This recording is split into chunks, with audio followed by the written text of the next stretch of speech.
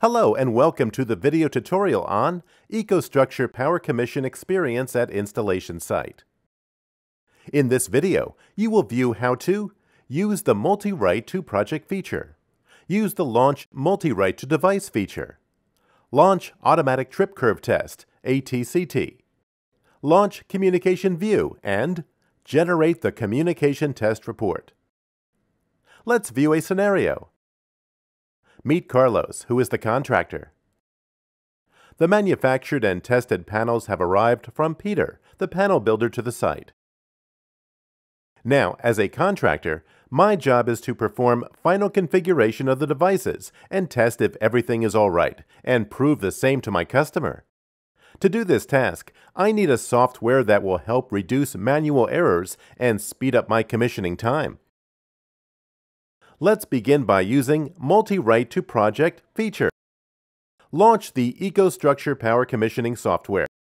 After discovering devices and adding them to the project shared by Peter, my next step is to collect all the settings from devices to my project using Multi-Write to Project feature.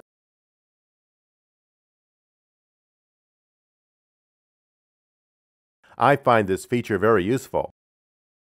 When I use this feature, I can even leave the site and work at my office desk or hotel to minimize time at the site. To begin with, launch the MTZ configuration. Once you have launched the MTZ configuration, change the basic protection settings. Remember that you should not write to device at this point. Next, you have to launch Meter PM5000 configuration and then change the current transformer ratio as per the requirement. Using the Multi-Write to Device feature. I am now back to the site. With EcoStruxure Power Commission, you can write all settings with just a click, using the feature Launch Multi-Write to Device.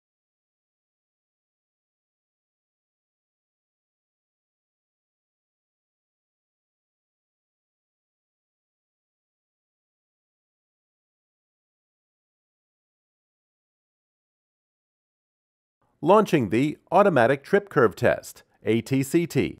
To use this feature, connect on USB direct connection with MTZ breaker. Then launch ATCT to prove that the breaker trips at the right time.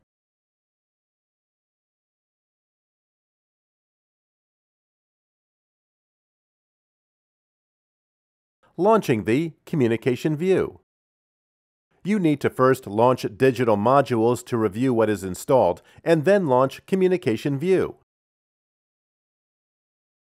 This view provides a graphical representation of the connectivity between different devices added in the project with their respective communication interfaces. Communication View also helps you to understand the network configuration of the devices connected to different communication access points. Now, change the IP ranges as provided by the customer, generating the Communication Test Report. Once the Communication View is launched, execute the communication tests. Once the test is executed, generate the Communication Test Report to check if the communication within the Intelligent Modular Units, the IMUs, is fine. The project report, which is generated, serves as a proof indicating that all the parameters are set correctly using commissioning software. The report can be used as a Site Acceptance Test SAT report.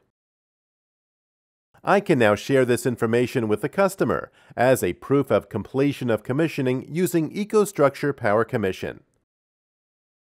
As per the reports, the breakers are tripping properly and the communication is working fine. The report also lists all the products and final settings that we have performed on site. Now, the panel is completely commissioned and tested at the customer site using the EcoStruxure Power Commissioning software. This concludes the video on EcoStruxure Power Commission Experience at Installation Site. In this video, we saw how to use the Multi-Write to Project feature, use the Launch Multi-Write to Device feature, Launch Automatic Trip Curve Test, ATCT. Launch Communication View, and Generate the Communication Test Report.